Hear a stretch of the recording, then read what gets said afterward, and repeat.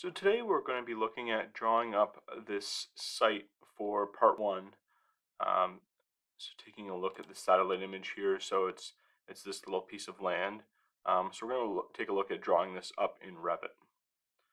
So let's start by taking our site survey and let's start by importing it into Revit. Um, so I've got my site plan view up here. Um, so I'm going to go to insert and I'm going to import in this PDF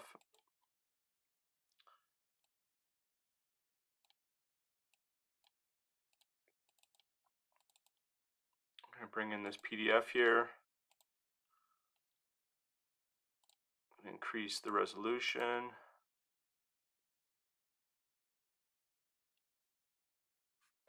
And I'm going to stop cropping view here.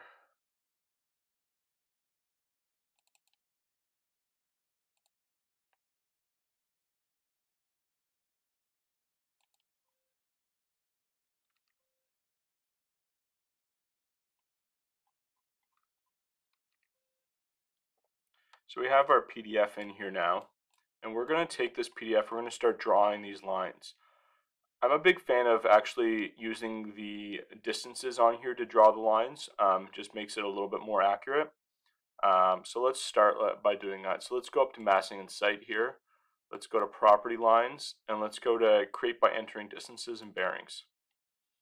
Um, we're going to start with our first line here. We're going to go counterclockwise. So we're going to do 59 so, and here's a little trick here. When you're doing this, you can actually separate everything by a space. So 59 space, 15 space, 55. And I believe this property here is, let me just see here. I think it's probably in meters. Um, we'll start off by assuming it's meters, and I'm just going to check that. 86. And then you can actually, instead of, you type in the number and then you just hit M for meters, and it automatically converts it to feet. See here. Okay, it is in feet. Okay, so let's let's change that back. So 197.86. Just hit enter and it'll automatically convert it. So let's do our next line here. So let's go insert and let's go to 486.51 and then let's do uh, 6008 space 50 and let's see how that looks. So we got a straight line.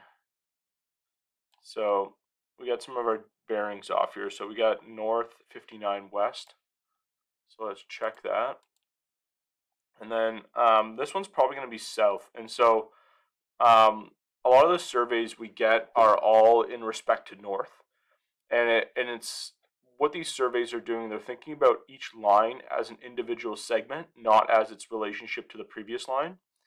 So what we just need to do is we just need to reverse this. So instead of northeast, we got southwest. So let's change this to southwest. And let's see how that looks. So yeah, that looks pretty close to the geometry we have there. So let's go to the next line here. So we have go insert. And let's do 286.79. And let's do 79.50.00. Let's check this as, I think this is going to be southeast. Because that's northwest. I think that one's still going to be going down. Um, and let's do another one here. So we have 235.94 and we have the same bearing. So we have 79 space 50. You notice there I didn't type in the last two zeros and so Revit will also um, will automatically compute that for you. Let's add one more and this should be our last line here. So we have um, two uh, 45.87 delete that before. And we have 18, 20, 55. So you notice that there's a dimension on the outside and inside. Typically the dimension on the outside is to um, another element. Um, so you can see how this one ends at this point, which is where this line is. And this is kind of a unique thing with waterfront property. Typically, the markers for the survey are back from the water's edge.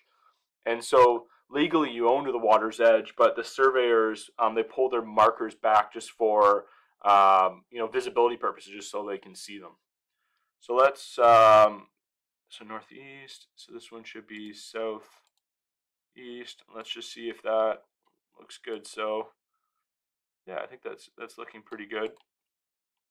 So I'm just to bring this roughly down over here and I'm just to scale this up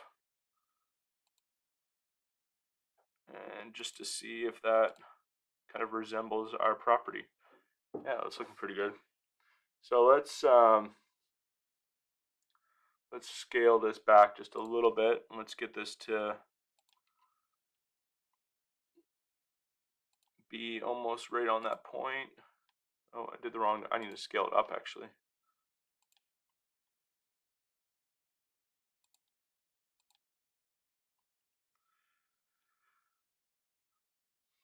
So since we don't have a, a proper survey for this project, and uh, depending on the project, one might be on the way, we'll just use um, this rough line to um, somewhat gauge our, our property line, or sorry, our, our water line marker. Um, the one thing we do probably want to use um, is this 21.4 is probably that distance right there. Um, it says plus minus because obviously that's fluctuating based on the water line. Um, and then over on this side, we have 11 um, plus minus. So let's start by um, drawing our water. And so to draw waters, the water, we usually use a filled region. And we'll save that. Or if it's good at reminding you to save. Um, let's go in and save this. And we usually use, um, we have some predefined line weights in here. So we usually use uh, a wide line or an extra wide line for our water just to make it um, really prominent. And then over here, we actually have a site blue set up for water. And so let's start just by tracing these lines. And, you know, we're trying to be as accurate as we can with this, but obviously there's um, a bit of inaccuracy because um, this is a, a scanned PDF, not a um, an export from a CAD file. So and usually for our water, we'll go past um, the property we're working on, just um, for mostly for the crop region for um, the property. So we'll do something like that, and then I usually just drag this and make a big square up here, and just so that you know that'll be outside our our line there. So I'm just going to bring this one across like that, and then I'll use the fillet command here to fillet those in. And then these outer lines, I'm actually going to change the line type. So I just selected them there holding the control command on the keyboard. We're just going to change these to be invisible lines. And it's going to look like that. So we have a big, thick, solid line. Let me just hide this PDF here for a second. So that's what we got going on there. So let me bring that back. Bring. I just hid that by using HH on the keyboard. Um, so let's bring that back. So that's our, our start to our survey. Um, now what we'll do is we'll start setting up our setbacks and we'll start setting up um, any other control elements that we need. Um, one thing that we often do, and I'm going to actually just hide this survey for a second. One thing we often do with our surveys is we actually will draw a circle just around um, these intersections. And this is just more for us to um, kind of have a bearing of where those elements are. Let me try that again. Circle and then we'll just copy this to all the corners. Um, again, this is just a reference for us to know where these, these circles are. And let me copy it again and turn on the multiple button there.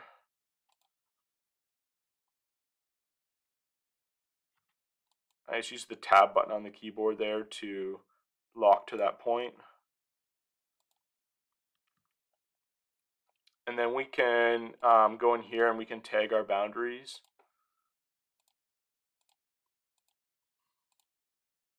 Like so. Um, if you don't have a tag loaded in, there should be one on um, in your Revit family folder, or you can go online to uh, various family websites to uh, acquire that. So we have this. Um, within our projects, um, we have uh, some of our standard zoning bylaws we work with with the different uh, cities and towns. Um, so I'm just going to open up our sheet set here. And so over here we have all of our different zoning bylaws. So this one, um, let's see, this one is, we have, we have this, this is ours right here. So I'm going to delete these other ones bring this over. So we have our side yard setbacks of 4.6, so 15 feet. Um, so let's start by drawing those. So basically we have two side yard setbacks on this, no rear yard setback. Um, so let's go to annotate, let's go to detail line, and we have a line we call zoning, and it's just a red dash line. So let's type in offset of 15 feet here, like so. And use the fillet command here again and fill those in. So that's our rear yard setback. Um, the other thing to note is on the waterfront. Um, so for uh, setback from the water, um, where do we have it here? Um, yeah, so our front yard setback from the water is 66 feet. So this is something that's pretty common in a lot of our, our lakefront properties. Um, they want the buildings to be back beyond the water's edge. So the way we do this setback is a little bit different. So we actually do circles and we connect those circles. Um, and this is just based on the, the contour of the shore. Um, actually, I don't want to have an offset in there. Um, so we'll just type in 66 Oh, sorry, I don't want it.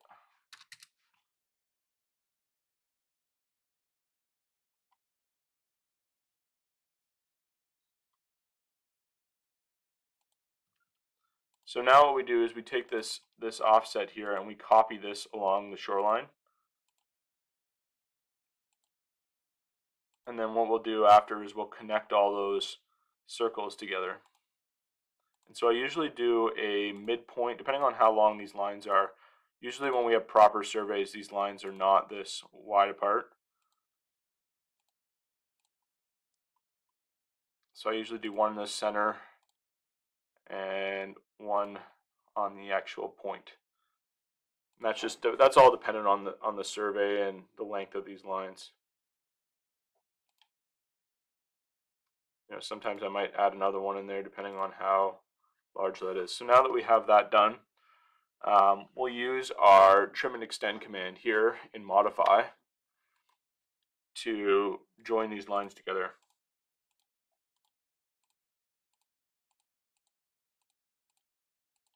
And again, this setback is from the water's edge, not from this, the property line.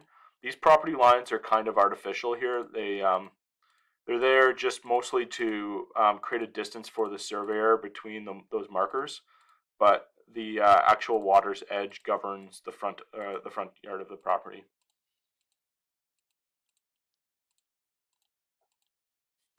And so I'll just delete these outside circles, and then that's our 66 foot setback line. So we usually add um, a little bit piece of text in here that says 66 foot um,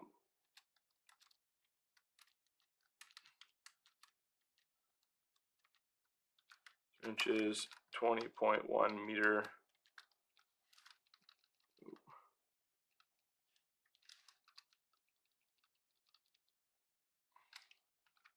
Back.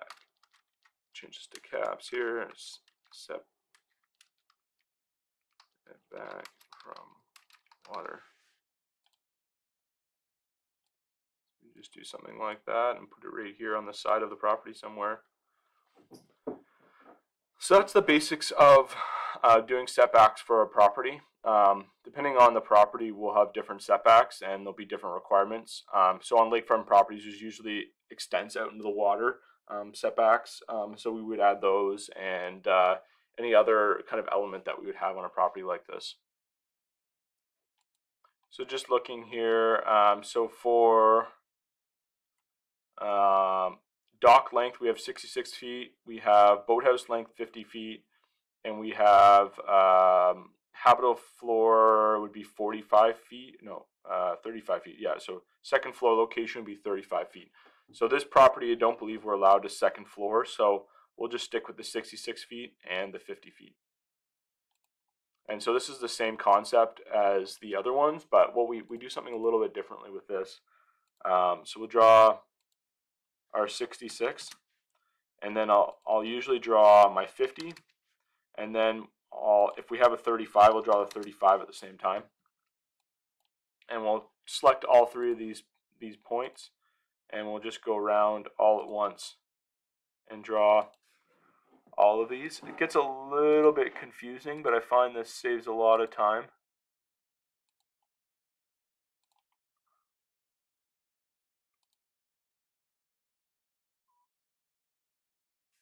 and if you need to, you can use the tab button to to get that point on the line.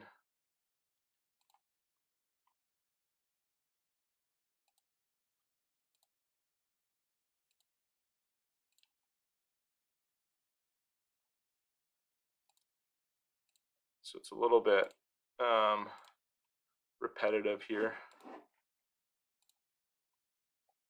And if, if we know the location of of where our client wants to put something, we might um, focus our accuracy in one spot. Um, so uh, I usually start with this with the outside line and I'll just uh, bring all these together like this. And um, what I'll do right here is I'll just pause this video and I'll just clean up these lines and show you what they look like. So this is what we end up with. We have our three setback lines going around the edge of the property. Um, you can see like there's a, it kind of dips in quite a bit in a few spots. So if we were concerned about you know being super tight with our line um, in certain areas, we could add more circles to clean up that radius. And uh, like for example over here, you know we could just grab these three lines and we use the copy button. We can find um, that point right here. We can just add another one down there and then just fill those in to improve that accuracy. like so. So that's that's how those are the basics of setting up a site survey. And I guess a lot of it's dependent on the city or town uh, that we're doing this in, and uh, depending on those numbers that they need. So, um, hope this helps. Uh, let me know if you have any questions.